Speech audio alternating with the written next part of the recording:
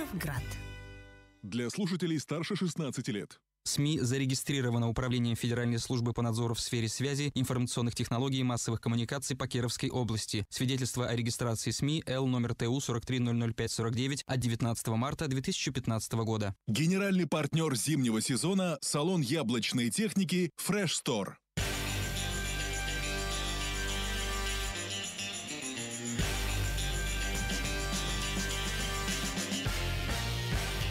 12.06 в Кирове. Программа «Дневной разворот» продолжается. В студии по-прежнему Ольга Болезина. И Анна Лапшина. А, всем доброго дня еще раз. Разворачиваемся, меняем тему. Две у нас их во втором часе. Очень коротко, очень быстро, но, надеюсь, от этого не менее информативно. Будем говорить о помощи жертвам домашнего насилия и об измененных, введенных новых правилах содержания домашних животных в Кирове. А, Екатерина Митягина в нашей студии, проректор по развитию на основе анализа данных Вятского госуниверситета совета и один из руководителей проекта помощи жертвам домашнего насилия. Екатерина, добрый день. Добрый день. Ну, вообще отталкиваемся мы как от информационного повода э, от создания чат-бота для помощи жертвам домашнего насилия. Я так понимаю, что это та, там, тот инструмент, куда можно написать ну, практически анонимно там, да, и получить консультацию, куда тебе дальше да. с этой твоей проблемой. Вот. А вообще-то у, на основе вот этих вот сообщений, в том числе, вот Вятский госуниверситет сейчас ведет некое исследование, как я понимаю, да? Да.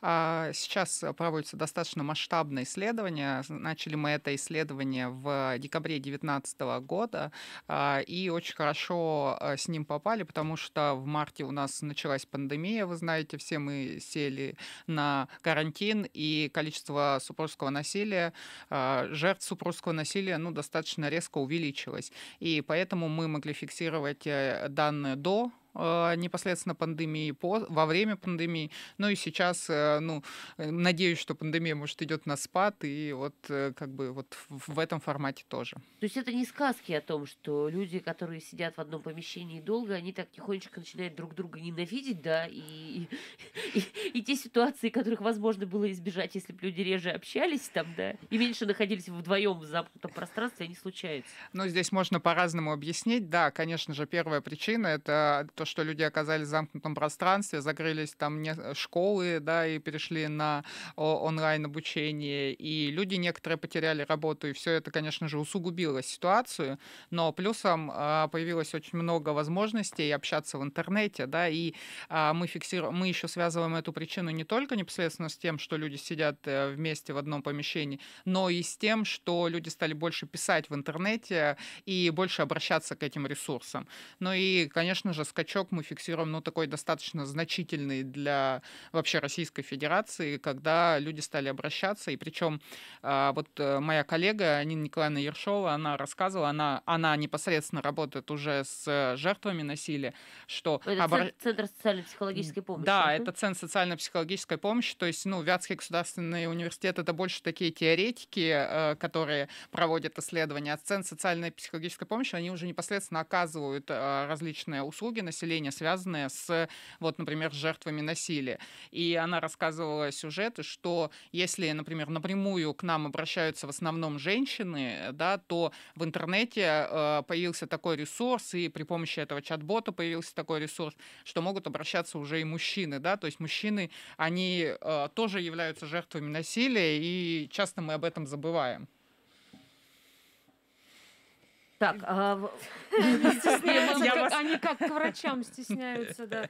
Знаете, я, я просто э, задумалась о том, что мы понимаем под насилием, потому что у всех это разное, и, может быть, многие люди просто не решаются говорить о своих проблемах, потому что для кого-то насилие — это какие-то физические действия, не психология, и вообще там ну, не какие-то нюансы, на которые, с которыми тоже так-то нужно работать. Ну, ну вот как раз это очень хороший вопрос, спасибо вам за него. Многие думают, что да, только физическое насилие, там бил, допустим, муж, и это является вот э, таким признаком. Нет, на самом деле вот мы выделили пять видов основных насилия, и туда можно включить помимо физического также психологическое насилие, а, сексуальное насилие, насилие в виде контроля и финансовое насилие, когда, ну, например, не дают э, деньги зарабатывать, либо тратить деньги, да, и приходится вот только постоянно просить у а, тирана, у абьюзера вот какие-то средства к существованию и так далее. Далее. То есть видов насилия очень много. Конечно же, идентифицировать в интернете в виде там комментариев или в виде э, постов легче намного физическое насилие. Вот, потому что, как правило, жертва, например, если над ней совершается психологическое насилие, она даже не осознает, что она является такой жертвой, да, то есть э, это такая э, взаимно, э, как сказать, взаимная игра, что ли, насильника и жертвы, да, в психологии. Ролевая модель какая-то. Такая некая модель, да, и когда в большинстве случаев ни тот, ни другой могут даже об этом не подозревать, потому что они думают, что если бьет, тогда вот только насилие э, имеет место быть. Это, поверьте мне, не так, и мы что сейчас сделали? А, вот а, самое, мне кажется, большое достижение сейчас Вятского государственного университета, что мы создали первый в России корпус по супружескому насилию. Для чего этот корпус нужен? То есть мы взяли достаточно большое количество текстов, это примерно 133 а, тысячи текстов мы сейчас из интернета, это комментарии, посты о супружеском насилии. И что мы сделали? Мы разметили эти тексты для чего? Для того, чтобы сейчас можно было обучить нейрон, при помощи нейронных сетей обучить э, компьютеры, и они уже смогут автоматически распознавать вид насилия. То есть там большое количество ключевых слов и так далее. И вот я считаю, что это такое самое сейчас главное э, достижение, которое вот Вятскому государственному университету и кафедры там социальной работы и молодежной политики удалось сделать. А вот э, психологическое насилие, мне кажется, как раз вот э, одна из таких э, пока что запрятанных, наверное, проблем и самых трудных с тем, что, чтобы, чтобы с ней потом э, впоследствии как-то работать. А у нас, вот, судя по там, сообщениям, э, какой из допустим, этих пяти да, видов больше всего э, преобладает? Ну вот я уже сказала, конечно же, больше всего это все-таки физическое насилие. И даже когда мы говорим там о ключевых словах, которые мы используем для того, чтобы вычленить и выделить этот а, тип насилия, мы понимаем, что а, для физического насилия это больше вариантов, больше модификаций вот этих вот слов, да. Для психологического это больше там, ну там давит, давление оказывается и так далее. То есть психологическое насилие, конечно, конечно, сложно идентифицируем пока в сети, и мы, мы работаем сейчас над этим. У нас две вообще таких ключевых проблемы, которые а, сейчас ученые пытаются понять и пытаются каким-то образом а, представить варианты для практического уже применения, ну, в виде чат-бота, например. Вторая — это если в сообщении просьба о помощи. То есть очень часто а, само сообщение люди просто комментируют, допустим, а, ситуацию с насилием сложившимся, или какой-то случай комментируют. Но именно просьба о помощи для того, чтобы мы имели возможность обращаться потом там чат-бот там а, к этим непосредственно жертвам, это идентифицировать и вычленить очень-очень сложно. И ну просто словами там помогите а, мне мне нужна помощь, что мне делать, чаще всего это невозможно вот э, а, автоматически находить. А я правильно понимаю, что в Кирове, я не знаю, может быть не по адресу вопрос, в Кирове нет такой структуры, куда можно круглосуточно позвонить, ну кроме полиции, да, и сообщить сообщить о том, что с тобой вот что-то происходит сейчас нехорошая, помощь нужна именно сейчас, вот в эти минуты? Нет, ну нельзя, конечно, сказать, что совсем нет, то есть варианты, куда обратиться, они есть, да, и, конечно, полиция это, ну, самый такой один из главных источников. Самая большая проблема... Екатерина, снимите, если не очень удобно. То... А, самая, а, самая большая проблема, с которой сейчас мы сталкиваемся, что этой помощи, эта помощь не всегда есть в отдаленных районах э, Кировской области.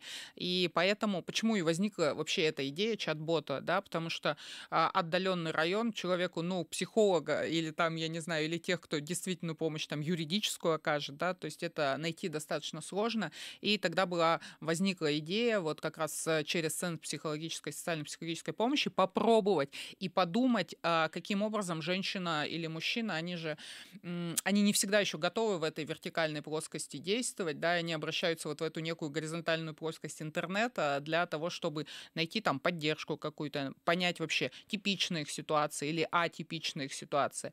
И э, поэтому мне кажется, что общение изначально даже с, ну, не, не с живым человеком, а с неким ботом э, где-то будет во многих случаях психологически комфортнее человеку пообщаться, понимая, что там не живой человек, он ничего не раскроет потом, не, э, не подумает, что ну что ты, у тебя-то еще там все хорошо, а вот э, у остальных-то людей намного проще, э, намного сложнее ситуация. Информация. Ну тут же можно и подумать, и, что он знает про людей, да чем он мне поможет, этот А, чат-бот.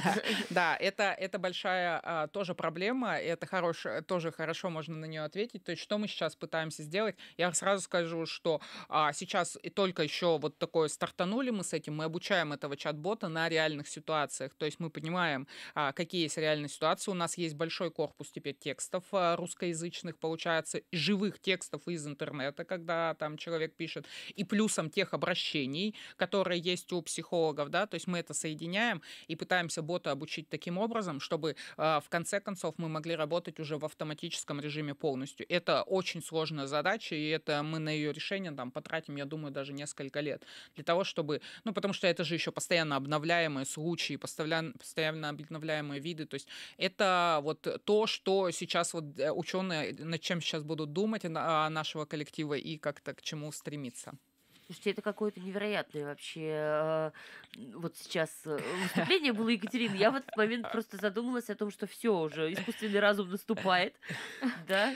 А, искусственный разум наступает, но вы должны, ну, всех я призываю все-таки этого не бояться. Как правило, а, очень большая проблема сейчас искусственного разума, что мы получаем большие объемы информации. Это, как правило, такая неструктурированная информация. И вы знаете, никто, ну, никто до конца не понимает, как работать с этой информацией. И вот только люди, живые, конкретные люди, и те, кто, допустим, а, э, ну, работает ну, с жертвами или по любой другой тематике, или ученые. И вот сейчас даже появилось такое понятие, как цифровой гуманитарий. Гуманитарии по-новому стали нужны в новых аспектах, потому что только они могут придумать методологию, как это проанализировать. Они могут а, а, потом в дальнейшем, когда мы получили результаты, каким-то образом описать эти результаты и так далее. То есть вы понимаете, человек получает новые возможности в связи со всеми этими технологиями, и этого не нужно бояться. И вот когда мы э, сейчас мне говорят, вот, Екатерина Владимировна, вы сделали, ну там чат-бот, вы там этот корпус сделали. Вот если э, как, а, как изначально и как, э, как это делается, то есть мы получаем весь этот корпус, и большое количество людей, экспертов, студентов, там, жертв и так далее насилия, они сидят и руками вручную размечают для чего? Для того, чтобы этот корпус появился, для того, чтобы мы потом появи... машину э, Обучили. обучили. И машина, когда она уже даже сама начинает автоматически делать, эксперты, живые люди постоянно проверяют, какой процент ошибок, где она не совпала.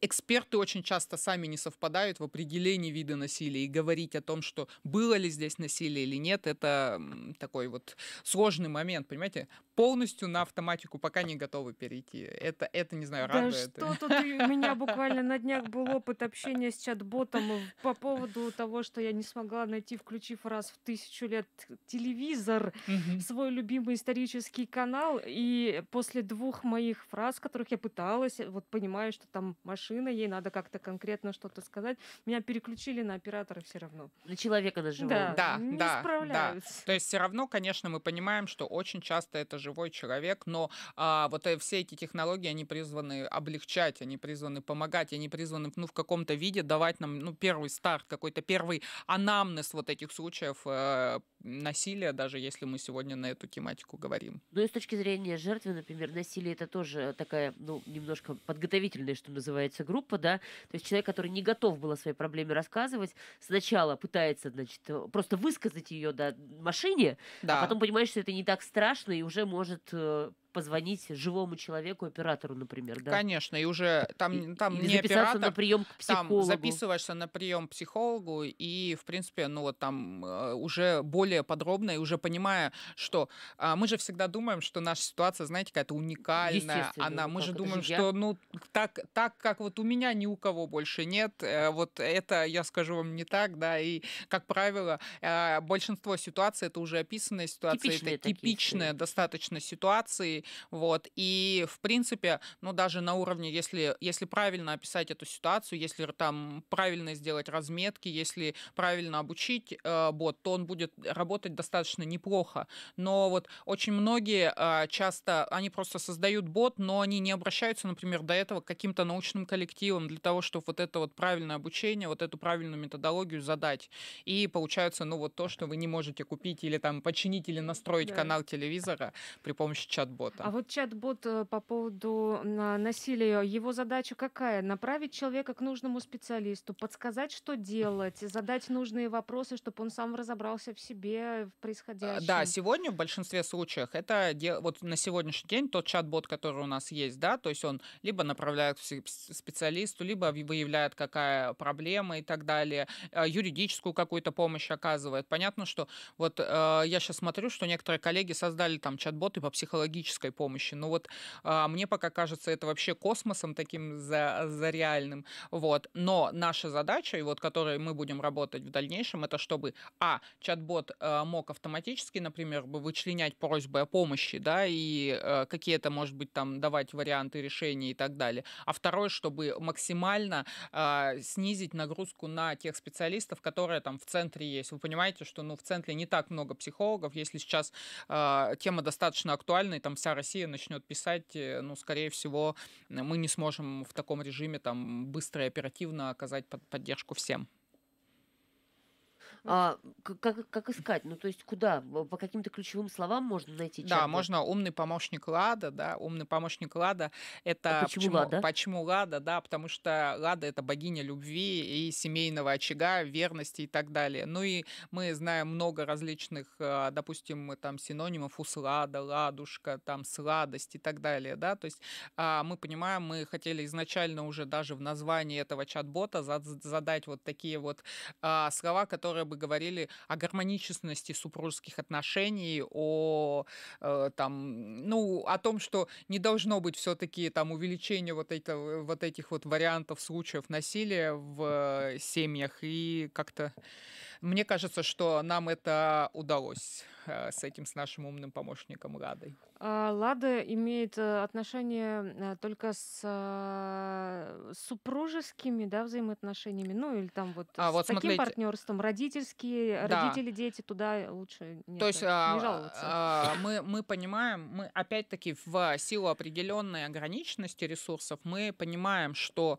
а, супружеское насилие а, это лишь одна грань вообще а, во всей теме домашнего насилия, да, потому что, а, ну, если, э, если сказать, что а, что такое супружеское насилие для нас, то есть это насилие между интимными партнерами, да, потому что, ну, мы не всегда же можем говорить о семье, там, допустим, и у нас, когда мы ищем по ключевым словам, там, допустим, получается, там, муж, а, там, сожитель, любовник, хахаль даже есть там, да, такие слова, там, молодой человек или там жена, женушка и так далее, то есть по различным вот этим вот аспектам, и мы понимаем, что нас интересует в первую очередь вот две этих категории, но не потому, что мы думаем, что это один из самых там сильных и ярких видов насилия, нет, просто в силу ограниченности пока наших ресурсов. Мы понимаем, что резко скакануло насилие а, и в отношении старшего, взрослого населения, которое имеется, а также в отношении детей, но в отношении детей мы здесь бессильны, здесь уже изначально не, не мы занимаемся, здесь уже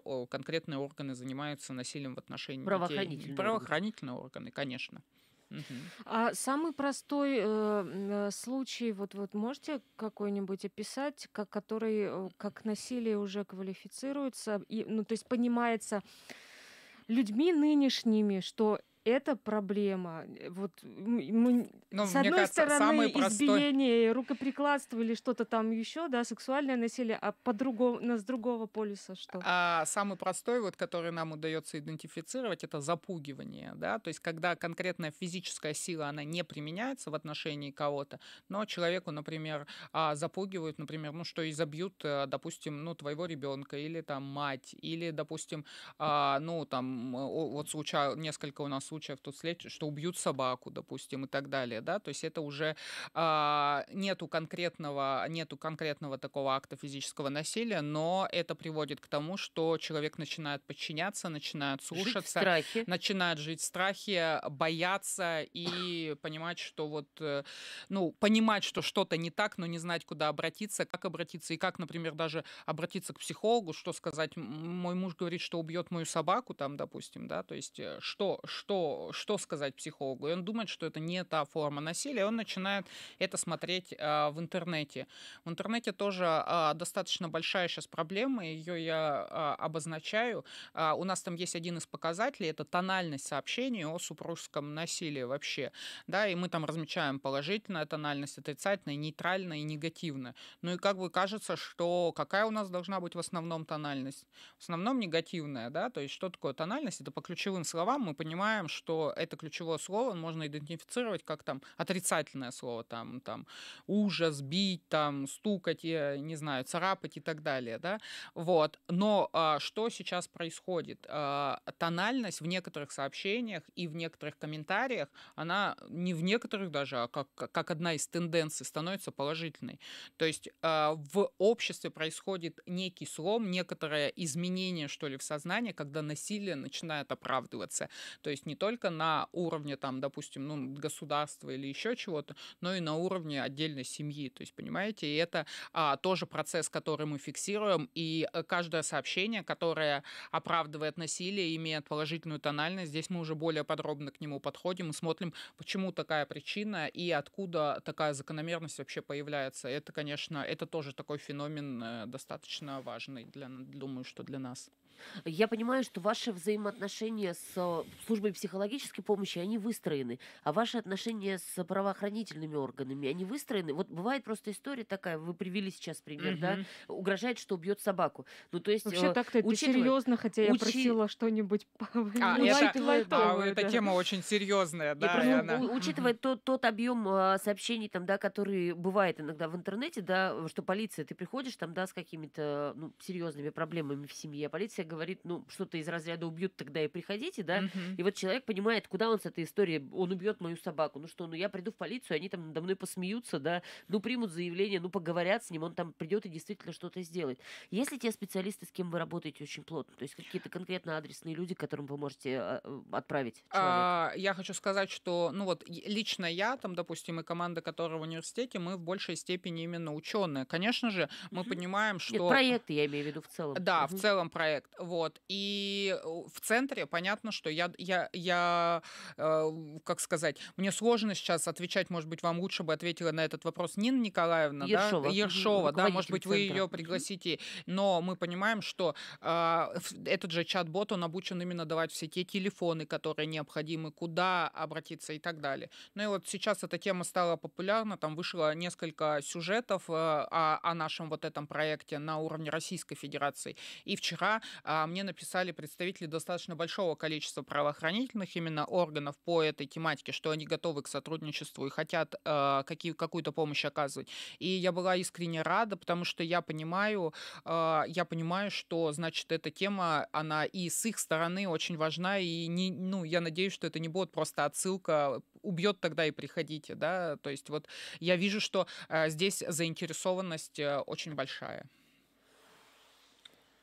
Так, э, ну, в общем-то, умный помощник Лада, об этом мы сегодня говорили э, с Екатериной Митягиной, проректором по развитию на основе анализа данных Вятского госуниверситета, одним из руководителей проекта помощи жертвам домашнего насилия. Я с разрешения звукорежиссера тогда немножечко пораньше пойду на рекламу. Екатерине Владимировне спасибо большое.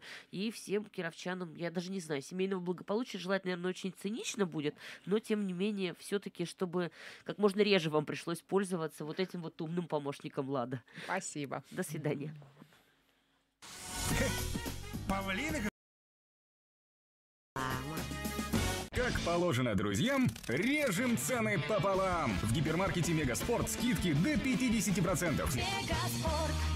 Акция действительно на момент выхода рекламы.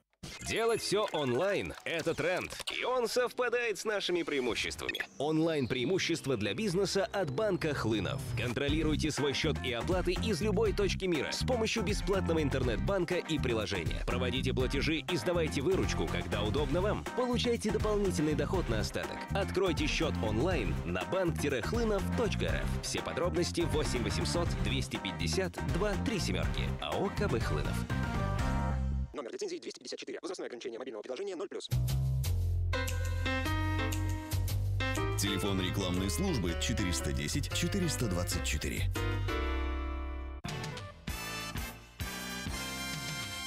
Продолжается дневной разворот. Смена гостя Татьяна Виноградова, заместитель начальника отдела государственного надзора в области обращения с животными и профилактики правонарушений в сфере ветеринарии в нашей студии. Татьяна Александровна, добрый день.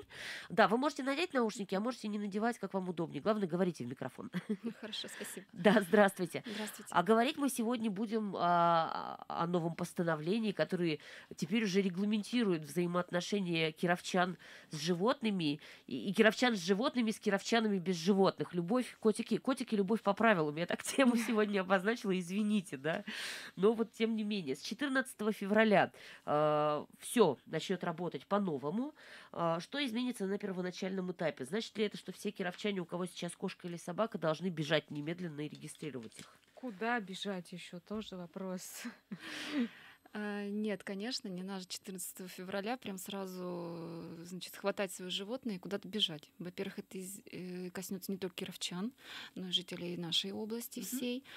А Второй момент. Немножечко, наверное, не было понятно, хотя вчера старалась донести до всех а, жителей, до заинтересованных лиц, до значит, журналистского сообщества о том, что ведь эта норма не новая.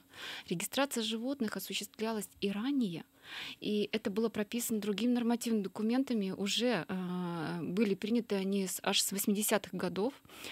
А, Я по- не знаю никого из своих знакомых, кто бы регистрировал. Ну вот собаку еще может быть, особенно Ну, если то она есть есть какая-то... какая-то это- база данных? Конечно, а кошек она уже никогда. есть. Офигенно. Просто автоматически регистрация осуществлялась, и также точно это сейчас будет осуществляться далее, когда гражданин обращался в государственную ветеринарную службу для проведения вакцинации либо иных профилактических А в мероприятий. А если в частную он клинику? ходил в больницу? Если в частную да. клинику, да, мы говорили о том, что человек, который обратился в частную клинику, ему бы надо прийти с собакой. То есть не забывайте, что это касается именно животных собак, да, и а, прийти в государственную ветеринарную службу, предоставить, что вот я завел животное, собаку, и ему присваивался номер регистрационный. Если вы посмотрите на паспорт, у кого он есть на свое животное, то в первом развороте, после того, как есть характеристики животного, характеристики владельца, то есть фамилия, имя, отчество, да, вот вторая страница, она посвящена как раз регистрации. Это в любом паспорте, даже в международном. А вот уже далее развороты идут. Это именно отметки о вакцинации, о других каких-то э, значит, профилактических прививках, да, о дегельминтизации и так далее. То есть вот эта вот норма регистрации, она никакая не новая совершенно, она была ранее. Вот. Мы говорим о том, что эта норма необходима. И прежде всего, опять же, это норма для заботы о наших братьях меньших, о наших владельцах, потому что, как вы знаете, а, вакцинация от бешенства обязательная эта процедура для каждого животного, для каждого владельца, да, она а, э, бесплатная. Она да- очень давно, буквально всю жизнь бесплатная, но на основании чего?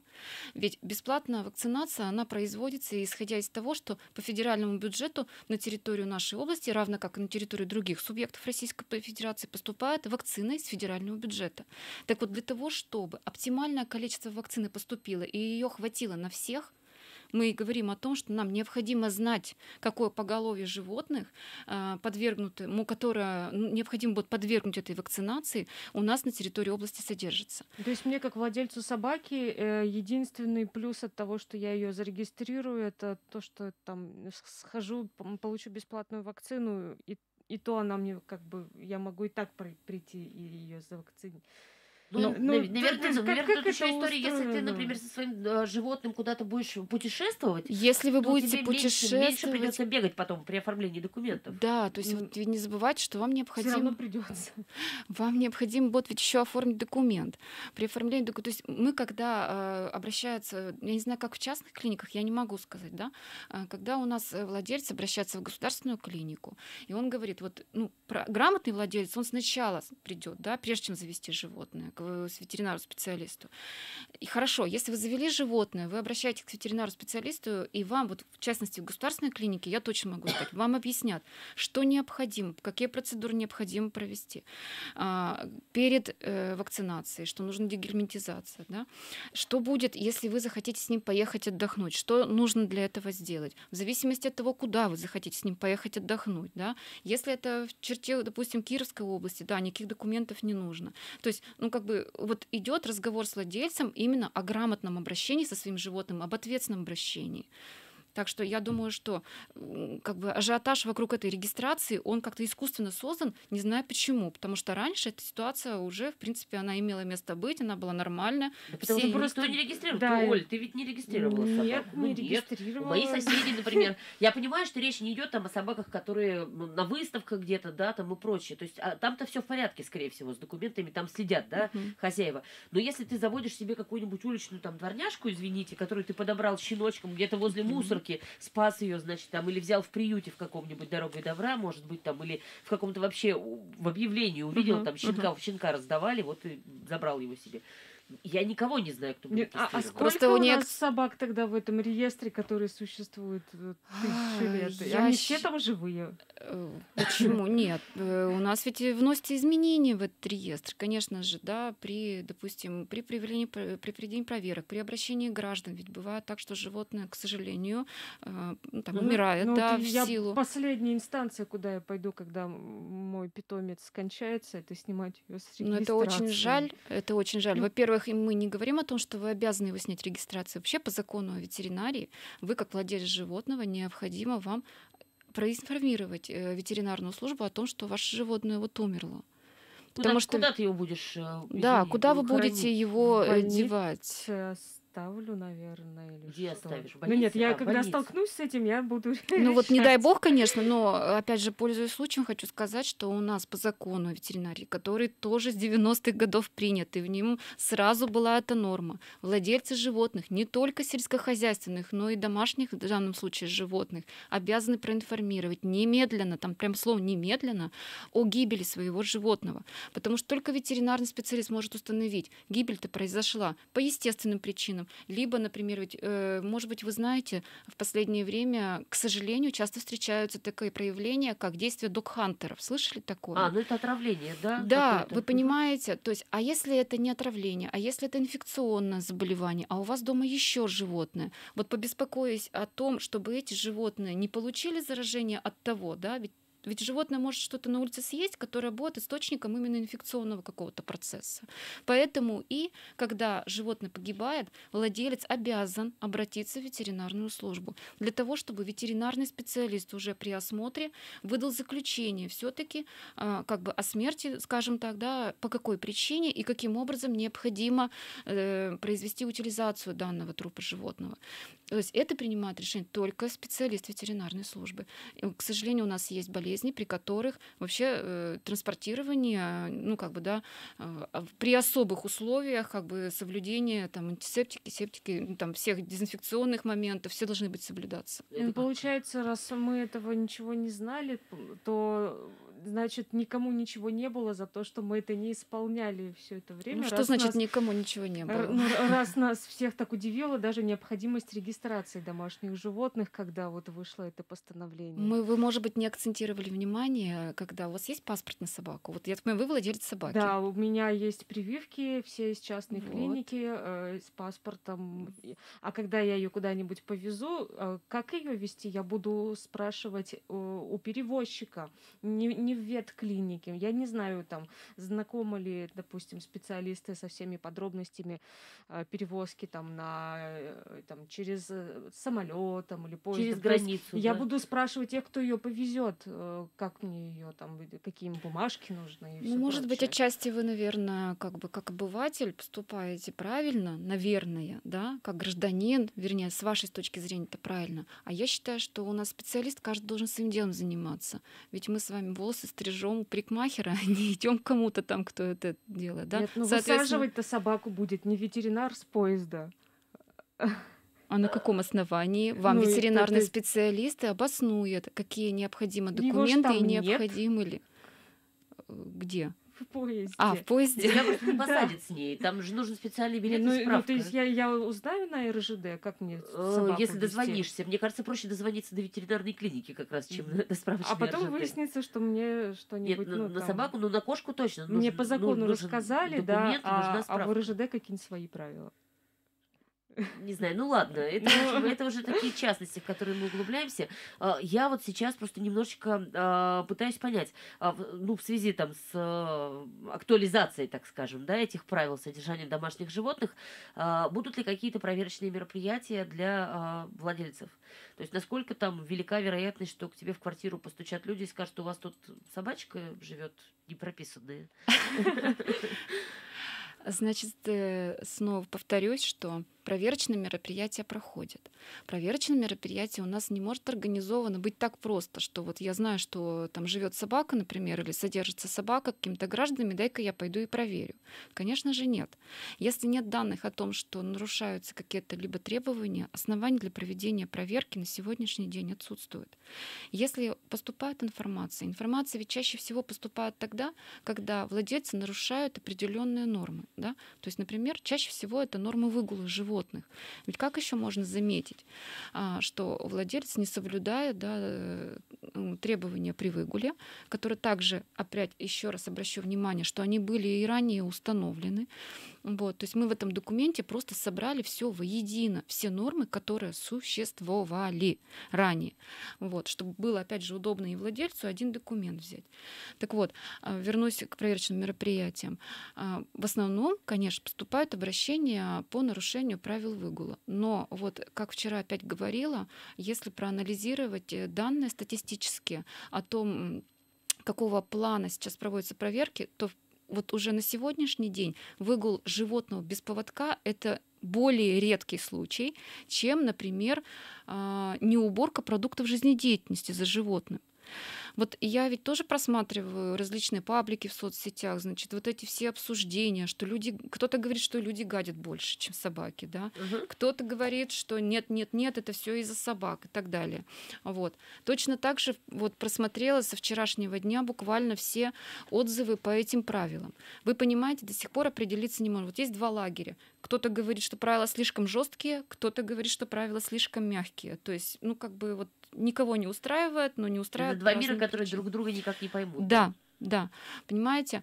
Вот, то есть проверочное мероприятие все равно осуществляется на основании какого-либо а, Сигнала. сигнала, момента. То есть я не говорю сейчас конкретно про людей и не призываю их там, значит, э, там вот следить там. Жаловаться на соседей. Да, вот. То есть, конечно, это бывает обычно тогда, когда, ну, в основном у нас люди, они, ну, скажем так, по большинстве своем очень даже хорошие, будем так говорить. То есть всегда стараются сначала идти на компромисс, поговорить со своими соседями. То есть вот выгуливаешь там, вот как я вчера говорю, выпускают собаку из двери, она выбегает. э, У меня такой случай в подъезде был. У нас собаку так соседи выпускали, и собака прям меня сносила даже с ног. Вот. Либо, опять же, дети там из школы идут, в школу идут. Даже взрослых иногда собака не выпускают из, из своей квартиры. Либо, например, очень много квартир, где содержится большое количество животных, поверьте мне, заходя в такие подъезды даже, не то что в квартиры, вы сразу это ощущаете. Это, это настоящий бич для городов, для многоквартирных домов, а для соседей. Только сегодня недавно разговаривая с женщиной, она мне сама позвонила, заявительница по одному из материалов. Она говорит, Татьяна Александровна, я вот вчера смотрела передачу, где вот вы выступали. Вы знаете, я прям готова пригласить там журналистов просто к нам в подъезд, чтобы вот они это все сами. Да, вот, ну, честно слово, так Я есть. понимаю. Вот. Поэтому вот в основном сигналы поступают именно вот ч- от соседей. Затем, э, когда собака кого-то кусает, там, да, обращаются в полицию. Полиция нам направляет материалы на рассмотрение. Минута у нас остается. Да, ос- и плюсом ко всему еще, конечно же, шум. Особенно, как вот мы говорим, большое количество животных, даже если одна собака раз один гавкнет, поверьте, когда их 10, это будет очень шумно. Да, потому что они друг друга поддерживают. Да. Это какофония на весь день. Да. Спасибо большое. А, а, Татьяна Виноградова, заместитель начальника отдела государственного надзора в области обращения с животными и профилактики правонарушений в сфере ветеринарии была в нашей студии. А, У нас есть еще полминутки или мы Полминутки заканчиваем? есть. Полминутки есть. Я хотела только уточнить э, содержание на дачах. Что-то меняется или нет? Потому что вот в городской черте понятно, там, да, правила какие-то, общежития. А вот на дачах там же они бегают все. Ну вот так не должно быть, понимаете? Дача это тоже общее место, и люди точно так же ходят. Пожалуйста, держите их на придомовой территории, если она огорожена. Спасибо большое. На этом дневной разворот Новыми будут штрафы в Будем, марте. будем следить за штрафами. Да, спасибо. До свидания.